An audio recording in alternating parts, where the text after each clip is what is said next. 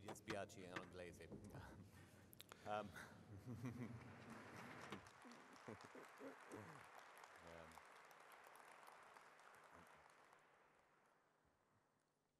I'm going to uh, give you a small history lesson uh, Vi farò una breve lezione di storia oggi, un pochino um, per spiegarvi che ciò che state vivendo oggi non è niente di nuovo in realtà. Anzi, si potrebbe dire che è un problema ormai congenito, qualcosa che colpisce l'Europa da 150 anni. E l'unica differenza oggi come oggi sta nel contesto di ciò che noi chiamiamo adesso l'Unione Monetaria Europea. Prima di cominciare vorrei però spiegare un pochino che in effetti ho lavorato nei mercati finanziari. Quando avevo cominciato a farlo, beh, eravamo stati formati a credere che la finanza fosse qualcosa che fosse in un qualche modo l'ancella dell'industria e non l'opposto. Io non ho mai svolto alcun ruolo nel creare questi prodotti Frankenstein della finanza, come gli swap per il default del credito. Lo voglio dire chiaramente, io non ho responsabilità.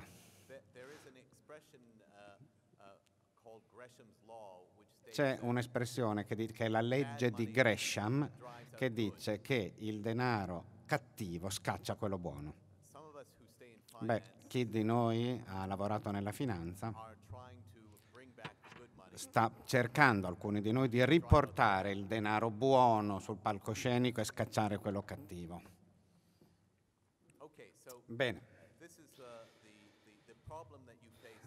il problema che abbiamo oggi nell'Unione Monetaria Europea, discutiamone. uh, Diventando parte dell'euro, come ha spiegato già Stefani, voi avete in un qualche modo rinunciato alla vostra moneta sovrana a favore di una nuova moneta che è l'euro. Quindi, da un certo punto di vista, le banche centrali nazionali hanno tenuto delle riserve dalle banche eh, centrali per motivi di eh, pareggio, di compensazione e a loro volta eh, ovviamente alle ban- alla Banca Centrale Europea è impedito comprare i debiti direttamente dal governo. I titoli di Stato, quindi da un certo punto di vista voi avete ceduto la vostra sovranità nazionale, il vostro rapporto con la Banca Centrale Europea è mh, da molti punti di vista simile, anzi da tutti i punti di vista, è simile a quello di uno Stato americano, di una provincia americana rispetto alla Banca Centrale americana. Voi siete utilizzatori, per così dire, di una moneta, di una valuta, ma non la create più e quindi avete perso la vostra sovranità. Il motivo per cui tutto ciò, magari ci saranno state anche dietro delle ragioni storiche nobili, forse c'era un desiderio di evitare gli orrori di quello che effettivamente si era vissuto con due terribili guerre mondiali e in effetti c'era l'ideale forse di creare gli Stati Uniti d'Europa. Però devo dire che in ultima analisi questi Stati Uniti d'Europa che si sta cercando di creare si fondano su appunto delle basi assolutamente inadeguate. Questa architettura inadeguata secondo me è alla causa del problema odierno. Ora, non è colpa dell'Italia che è un paese spendaccione mediterraneo come magari spesso ai tedeschi piace dire. No, questo è in realtà un mito che viene divulgato adesso dalle elite finanziarie mondiali che non ha riscontro nella realtà. Vediamo adesso un po' quella lezione di storia di cui vi parlavo. Si potrebbe in effetti sostenere che negli ultimi 150 anni si è avuta una storia del cercare di far fronte col problema tedesco. Ora, quando dico che c'è un problema tedesco, non sto cercando di eh, suggerire, indicare che ci sia un problema con i tedeschi, eh? e né sto cercando di minimizzare, di ridurre il tutto a una caricatura molto rozza come quella che abbiamo visto recentemente su alcuni giornali per cui la, la signora, la cancelliera Merkel è stata dipinta in uh, uniforme nazista. No, non è un problema di questo tipo, quello di cui parlo. Ciò che sto cercando di dire in realtà è che noi abbiamo avuto un problema di un paese che storicamente è stato molto più potente dal punto di vista economico dei suoi paesi, dei suoi vicini, e quindi stiamo cercando in un qualche modo di porre una soluzione a questo problema in diverse modalità. Ora, nel, periodo dal 1865 al 1870, beh, la storia è stata un po' simile a quella che si è poi avuta dopo il crollo, la caduta del muro di Berlino. Infatti in questi anni dell'Ottocento c'era un continente assolutamente diviso, frammentato. La Germania stessa era una serie in realtà di piccoli principati che si stavano unificando e che poi sono stati unificati in quel periodo e diventato un unico grande paese.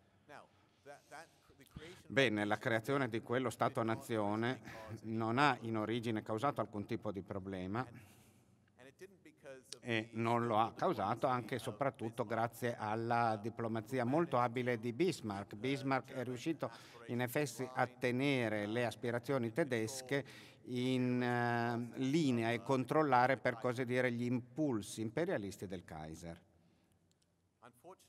Purtroppo però Bismarck in un qualche modo prima o poi insomma, doveva andare in pensione, così è accaduto e il resto è storia perché in realtà gli impulsi espansionistici del Kaiser hanno avuto la meglio e hanno portato al disastro della Prima Guerra Mondiale. In seguito alla Prima Guerra Mondiale abbiamo avuto la prima ondata, per così dire, del tentativo di risolvere il problema tedesco. Io lo chiamo la soluzione cartaginese. Cioè, abbiamo cercato in un qualche modo di distruggere la Germania, di punirla, di attuare delle misure di eh, compensazione, obbligare la Germania a pagare grossi danni, abbiamo occupato gran parte del paese.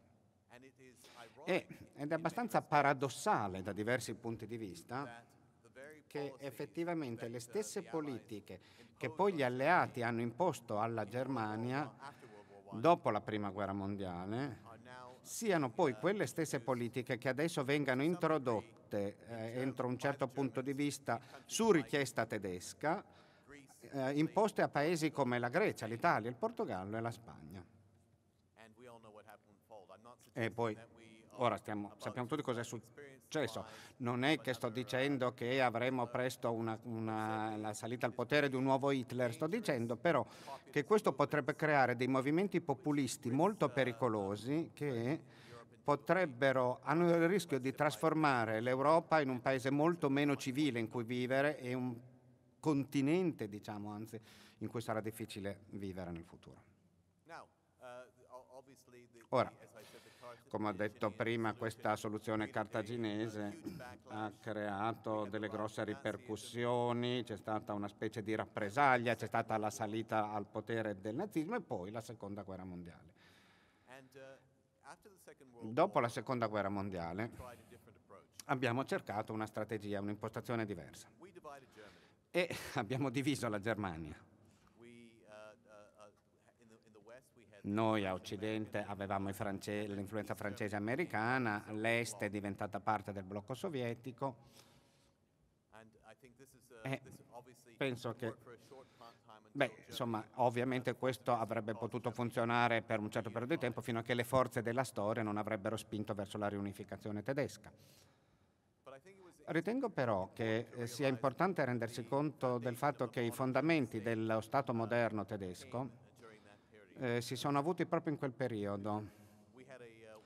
Abbiamo avuto un governo occidentale che era assolutamente impegnato a favore della libertà di mercato, alla libera interazione fra domanda e offerta e all'importanza dell'intervento dello Stato per garantire che la concorrenza non, mani- non venisse manipolata da cartelli e monopoli. Eh, è stata mer- l'economia di mercato sociale tedesca questa. Qualcosa che peraltro ha funzionato molto bene e ha creato la, le fondamenta proprio della Germania attuale. Eh, ritengo che sia giusto dire che all'epoca tutto questo è stato anche favorito dalla generosità americana, va detto, nell'immediato post seconda guerra mondiale. Ora, dopo la distruzione, eh, la devastazione della seconda guerra mondiale, non ci sono stati dei politici americani che hanno fatto delle lezioncine sui, agli europei dicendo che erano dei pigroni, degli spendaccioni e che dovevano assolutamente mh, tirarsi sulle maniche e darsi da fare.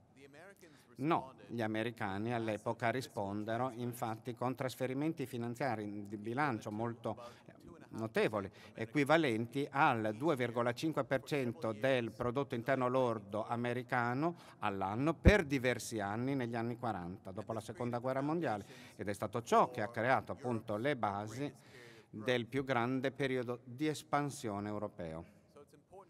È pertanto importante rendersi conto che ci sono state delle eccidenze fiscali da una parte utilizzate per favorire la, la crescita, non per ripagare dei debiti, neanche per eh, seguire eh, diciamo, gli obblighi necessari a, secondo il mondo della finanza. Ora, una volta che la, si è avuta la riunificazione tedesca, poi l'intero problema tedesco si è riproposto. Alcuni, come la, la, la, signora Thatcher, primo ministro della Gran Bretagna, che ha pensato che avessimo creato una nuova entità, un nuovo mostro, insomma. Però le sue preoccupazioni erano fondamentalmente sono state scavalcate, per così dire, dagli interventi di quelli che io chiamerei l'ala destra europea del governo eh, tedesco. La teoria all'epoca era che effettivamente se la Germania si legava, si fosse legata completamente all'Europa in un uh, obiettivo da Stati eh, Uniti d'Europa, beh, in, quest- in qualche modo ciò il resto dell'Europa non avrebbe dovuto più preoccuparsi del cosiddetto problema tedesco. Abbiamo pertanto creato il Trattato di Maastricht come risultato di tutto questo, che è stato negoziato nel dicembre del 91 e, ed è stato firmato nel febbraio successivo, quando il potere sovrano tedesco si è ulteriormente ridotto nonostante l'enorme successo economico della Germania come paese singolo dalla Seconda Guerra Mondiale in poi. Questo ha significato che la Germania eh, come altri paesi, in ultima analisi hanno dovuto eh, cedere il, la loro valuta, in questo caso il marco. L'Europa in teoria avrebbe dovuto avere una politica comune di difesa e estera e le frontiere dell'Unione Europea eh, si sarebbero aperte, questo era l'obiettivo. Però c'era un problema eh, che eh, si è presentato subito dopo insomma, la creazione dell'euro e cioè nonostante i tanti vantaggi offerti mer- da un'economia di mercato unico, eh, c'era però il problema di quanti poi e quali paesi dovessero unirsi a questa nuova unione, in questo caso monetaria. Alcuni sostenevano che eh, l'Unione dovesse essere piccola con pochi membri, eh, quindi pochi paesi che avessero delle radici e delle politiche sociali, culturali ed economiche simili politiche eh, di questo tipo. Insomma, la scuola piccolo e bello, di cui era assolutamente principale esponente la Bundesbank, la banca centrale tedesca, che ha sostenuto, questa scuola ha sostenuto che mettere insieme le, eh, la sovranità nazionale, un coordinamento fiscale e monetario sarebbe stato possibile, più possibile, se i paesi coinvolti avessero delle strutture economiche, politiche e prospettive economiche e sociali simili. Eh, si sosteneva che una, una grossa espansione dell'Eurozona, quindi comprendendo paesi più eterogenei, con tradizioni storiche e ideologiche diverse avrebbe complicato il desiderio e eh, avrebbe in un qualche modo limitato alla convergenza. C'era però un'altra scuola che era quella del grande e bello. Questi sostenevano che maggiore, più grande sarebbe stata l'Eurozona, più mh, sarebbe stata forte la nuova eh, valuta contro il dollaro come valuta mondiale di riserva. Ora, io ritengo tutto questo sia anche discutibile, ma in realtà la scommessa all'epoca era che l'Europa è stato lanciato, eh, nonostante le disparità eh, regionali e nazionali fra i 12 allora paesi fondatori in termini di occupazione, di reddito pro capite, di prospettive economiche, e non c'è stato all'epoca, non c'era un'autorità di bilancio unica che potesse alleviare queste differenze. La, la- la- la convinzione era che più questi paesi, più a lungo avessero avuto questi paesi una, com- una valuta comune, più sarebbero stati spinti verso una convergenza.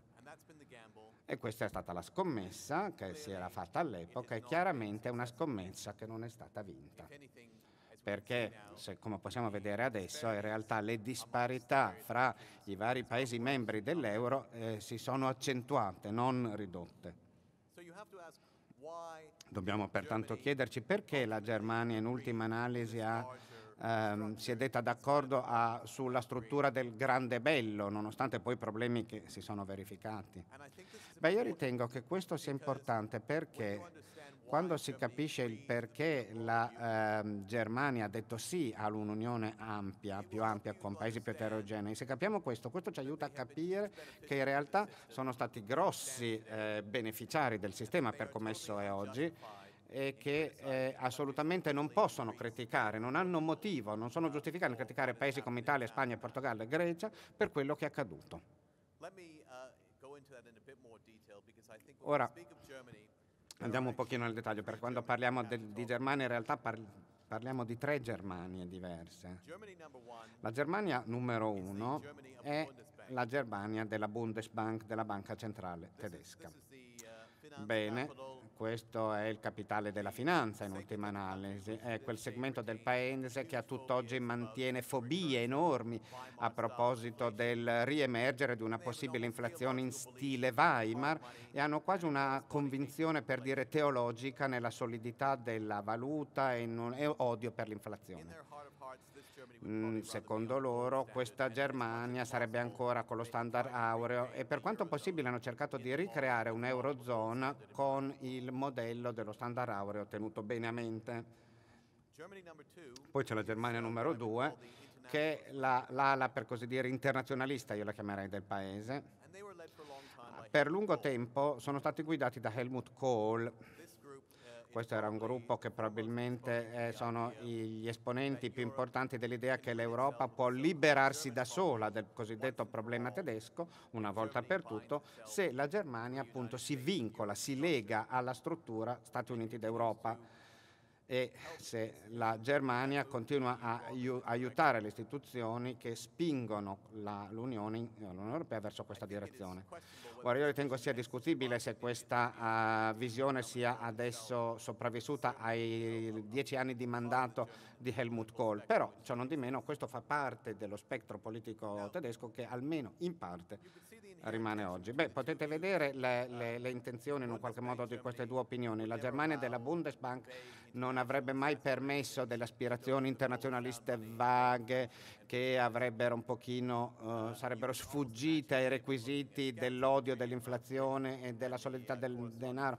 Immaginiamo quanto essi si sentivano minacciati da eh, questo pericolo, il che ci porta alla variabile fondamentale della politica tedesca, la Germania numero 3, industrial Germany che è la Germania industriale la Germania della Siemens, della Daimler-Benz, della Volkswagen, della Mercedes, delle grandi aziende siderurgiche, della chimica, dei produttori di beni capitali.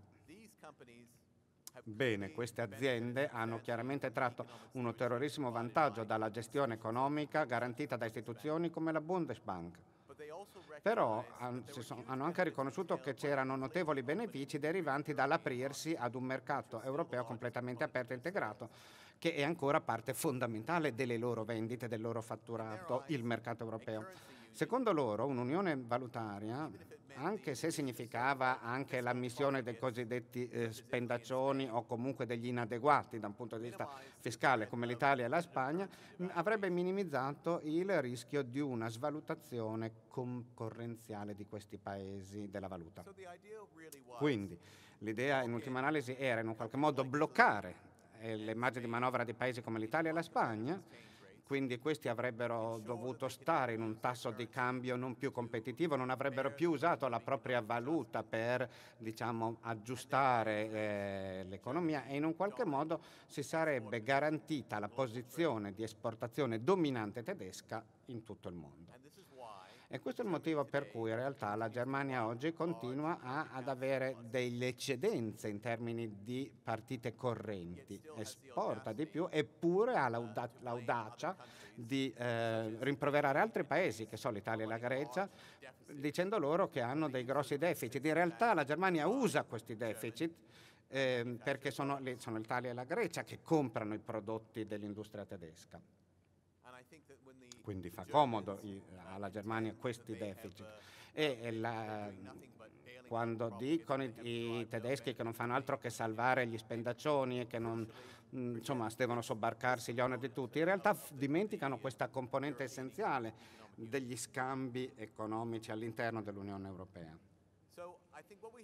Quindi oggi quello che abbiamo di fronte è una sorta di matrimonio assolutamente non funzionale perché i due coniugi sono cresciuti, diciamo, i vari coniugi, insomma, paesi come la Grecia, la Spagna, il Portogallo, l'Irlanda hanno tratto vantaggio dal fatto che sono riusciti a eludere la convergenza economica attraverso magari una maggiore ehm, stabilità, e- e però e, e questi paesi in effetti pensavano che non si potesse più di tanto eh, scegliere, lo stesso valeva per altri paesi, ma le cose adesso sono cambiate, sono cambiate completamente.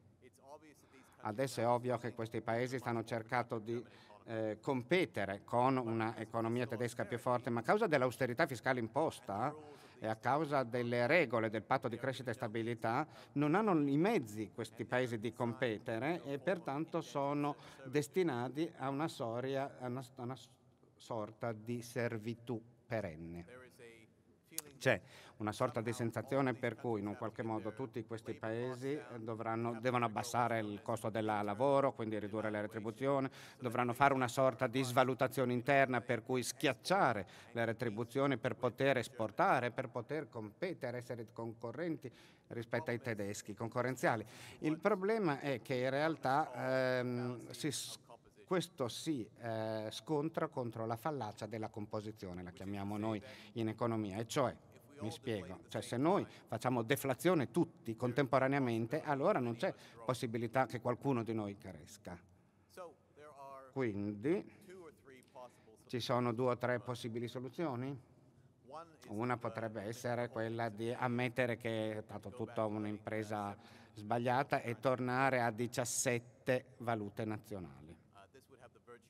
Questo permetterebbe di ripristinare la eh, sovranità fiscale per ogni Stato membro e quindi li allontanerebbe dalle politiche folli di austerità che vengono imposte dalla Banca Centrale Europea, dal Fondo Monetario Internazionale e da tutta una serie di paesi importanti quali la Germania.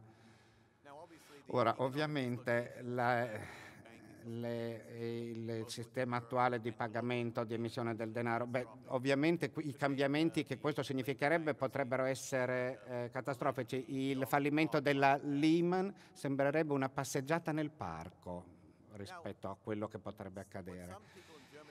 Quello che alcuni tedeschi hanno suggerito, quindi la soluzione 2, non abbandonare completamente attuali, eh, l'euro, è, una- una- una- un euro a due velocità. Alcuni hanno detto che la Germania dovrebbe in realtà ripristinare il marco tedesco e l'euro diventare una cosiddetta soft currency, una valuta morbida. Beh. Intanto c'è lo stesso problema, non ci sono dei meccanismi per cui questo possa essere fatto in maniera ordinata, ci sarebbero degli sconvolgimenti e la domanda a questo punto poi eh, è qual- chi eh, potrebbe far parte del blocco della valuta soft e chi farebbe parte del blocco della valuta hard, più forte e più debole. Beh, un, parte- un paese molto vulnerabile da questo punto di vista è la Francia. Anche se ai francesi piace pensare di loro stessi come un paese teutonico, disciplinato, almeno di stile teutonico. Il suo profilo economico e industriale è molto più simile a quello dell'Italia e in realtà ehm, forse eh, ci potrebbero essere delle enormi eh, minacce dall'Italia se l'Italia rimanesse nel gruppo delle valuta soft rispetto alla Francia nel gruppo della valuta hard. Inoltre non so se la popolazione francese nel suo complesso potrebbe sopportare quella limitazione al tenore di vita che viene imposta ai portoghesi, agli spagnoli e soprattutto ai greci e che se la vedono imposta per poter rimanere nella zona euro. Dopotutto questo è il paese che ha inventato la ghigliottina. E quindi la terza possibilità che ci rimane, la soluzione che forse è la più forse ragionevole per una più soluzione a lungo termine, è gli Stati Uniti d'Europa. Quando uso l'espressione Stati Uniti d'Europa non voglio far venire alla mente l'immagine di Stati Uniti in Europa, Stati Uniti americani in Europa Potrei usare l'esempio del mio paese, il Canada, perché in un qualche modo forse è un po' meno minaccioso come esempio rispetto agli Stati Uniti d'America. Parliamo allora del mio paese, il Canada, come esempio. Io vengo da Toronto, vengo dalla più grande provincia del Canada che è l'Ontario. Immaginate per un momento che le più, più grandi province canadesi, cioè l'Ontario e il Quebec, fossero due paesi indipendenti. Beh, se così fosse, in realtà i loro oneri in termini di debito sarebbe quello dei loro debiti esistenti più le quote rispettive del debito federale totale. La loro capacità di restituire questi debiti sarebbe determinata dalla loro base imponibile, il che significa che ogni quello che poi sarebbe il PIL nominale di ogni paese. È su questo che si tassa, sul PIL. Ma è questo onere in termini di, di debito come sarebbe? Beh, se consideriamo le cifre attuali, l'Ontario e il Quebec, ognuno, hanno dei debiti che sono più alti di quelli della Spagna, più o meno quelli del Portogallo, il che riflette eh, la, eh, la, le responsabilità crescenti che hanno in termini di spesa le province canadesi che devono pagare la sanità, l'istruzione, queste sono fra le principali fonti di spesa per il governo e, e questi impegni di spesa oggi vengono finanziati con dei deficit finanziari e con l'emissione di titoli di Stato. Il Quebec e l'Ontario sono anche simili alla Spagna e al Portogallo nel nuovo ambiente che ho descritto, nel senso che non controllano la valuta che, in cui vengono emessi i titoli di Stato, perché questo è il dollaro canadese che è emesso dalla banca centrale che è governata dal governo federale. Quindi, dati le scarsi fondamentali e l'incapacità di battere moneta, questi i titoli di Stato avrebbero un interesse, un tasso di interesse enorme se questi fossero paesi indipendenti, autonomi. Però non è così, perché i tassi di interesse sui titoli di Stato, chiamiamoli così, dell'Ontario e del Quebec sono molto più bassi dei tassi di interesse su quasi tutti i, i titoli di Stato dei paesi della zona euro. Perché? Perché il federalismo fiscale e c'è anche una condivisione del rischio all'interno della cosiddetta Unione Monetaria canadese. C'è una comprensione implicita del fatto che il governo federale canadese coprirà e salverà delle province canadesi che dovessero avere dei problemi sul mercato dei titoli di Stato. E questo ci dà un'indicazione sul fatto che nelle unioni monetarie quando queste vengono integrate da una um, unione finanziaria e fiscale adeguata, queste funzionano. Se si va verso questa terza soluzione, non si avrebbe mai una soluzione in cui c'è qualcuno che si mm, preoccupa della solvibilità di un singolo paese, perché i singoli paesi a quel punto sono tutti aggregati nel, in un'unica eurozona. Nessuno si preoccuperebbe della cosiddetta uh, deficit della bilancia dei pagamenti nessuno si parlerebbe più di paesi che spendono troppo, di gente che frega, per così dire. Eh, se guardiamo agli Stati Uniti oggi, nessuno sa, gli Stati Uniti d'America nessuno, si preoccupa e nessuno sa se uno Stato eh, come il Texas ha un'enorme eccedenza gli altri 49, di bilancio e gli altri 49 hanno debiti o hanno deficit. Nessuno si preoccupa. Se la Virginia dell'Ovest, la West Virginia, riceve sempre, è un beneficiario sempre e comunque di trasferimenti di denaro a livello federale, perché la West Virginia fa parte della parte degli Stati Uniti d'America, non è importante considerare la singola West Virginia. Questo è in ultima analisi la direzione in cui dovremmo andare. Penso però che ovviamente per arrivare da qui a lì ci vorranno di tanti anni e i mercati non ci concedono tutto questo tempo. Quindi tenderei a dire che un, ci potrebbe essere una proposta interinale, per così dire, transitoria, che potesse essere utilizzata per risolvere i problemi nell'immediato. Purtroppo, come ho detto prima, non abbiamo una degli Stati Uniti d'Europa e non abbiamo un tesoro funzionante no? Per tutti gli Stati eh, europei. C'è solo un'entità che è quella che batte la moneta, l'euro, che è la Banca Centrale Europea, ma non c'è un Ministero del Tesoro. E la Banca Centrale Europea purtroppo deve svolgere un ruolo quasi fiscale, anche se non vorrebbe farlo, perché è l'unica entità sovranazionale che può risolvere il problema di solvenza che sta alla base dell'Unione Europea oggi.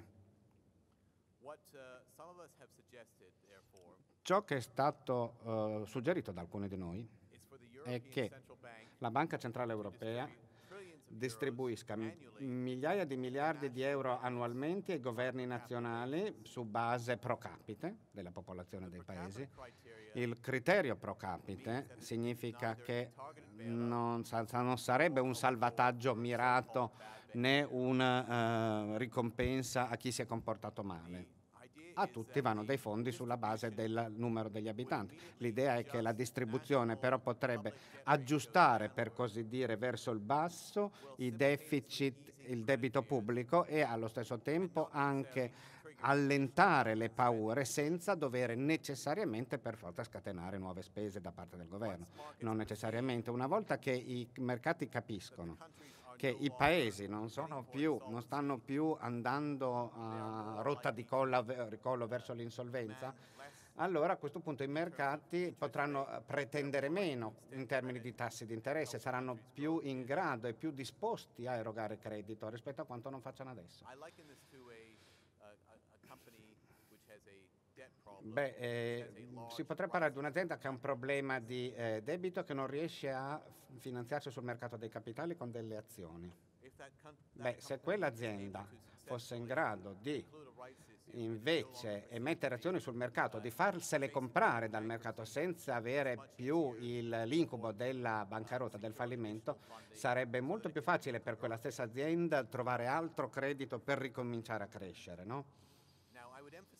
Eh, tenderei a dire che quello che sto suggerendo non è un mezzo per far fronte al problema dell'efficienza della domanda aggregata all'interno della zona euro, è un mezzo per creare un modo credibile per ripristinare la percezione di solven- solvibilità nazionale in modo tale che per paesi come l'Italia si, si possano impegnare in una spesa di bilancio per favorire la crescita, perché il debito senza crescita, crescita non porta da nessuna parte neanche a ripagarlo, come sta scoprendo la Grecia. E il motivo per cui la Grecia adesso non riesce a crescere fondamentalmente è che è completamente eh, bloccata, non riesce a entrare nel mercato capitale, non trova denaro perché viene percepita come rischio di insolvenza. Se si elimina questo problema e si crea una situazione in cui paesi che magari come l'Italia, l'Irlanda, il Portogallo e la Spagna sono visti invece come come l'Ontario e non come uno Stato che sta per fallire, allora a questo punto non si è più nella morsa, per così dire, dei programmi di austerità imposti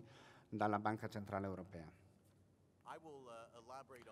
Potrei poi eh, soffermarmi un pochino di più su queste proposte nel corso del pomeriggio, però eh, credo sia importante pensare proprio in questi termini, nel senso che la crisi ci sta uh, spingendo verso una uh, strategia molto più radicale per i politici mm, rispetto a quanto magari essi stessi non si aspettavano qualche tempo fa. Io ritengo che sia importante sottolineare che eh, se questa idea che ho proposto vi possa sem- sembrare un po' troppo radicale, però vale anche la pena ricordare che pochi anni fa l'idea della Banca Centrale Europea che comprasse titoli di Stato sovrani sul mercato so- secondario, come sta accadendo, sarebbe stata considerata eretica pochi anni fa perché ci dicevano avrebbe creato un'inflazione, c'era lo Zimbabwe dietro l'angolo, insomma, e questo sarebbe stato un gran problema. Ma invece no, non è successo questo. E quindi possiamo effettivamente eh, renderci conto di come le, le, i bilanci, tra l'altro, e la capacità di spesa della mm, Banca Centrale Europea è cresciuta. Weimar non si è materializzata ai nostri occhi e quindi, secondo me, tutti questi falsi miti vanno assolutamente dissipati. Mm, dobbiamo renderci conto che c'è un'alternativa, alternativa di cui vi parlerò nel pomeriggio, ma credo fosse importante darvi un quadro storico adesso. Questo è un progetto multiannuale che durerà tanti anni, ma possiamo incominciare da adesso. Grazie.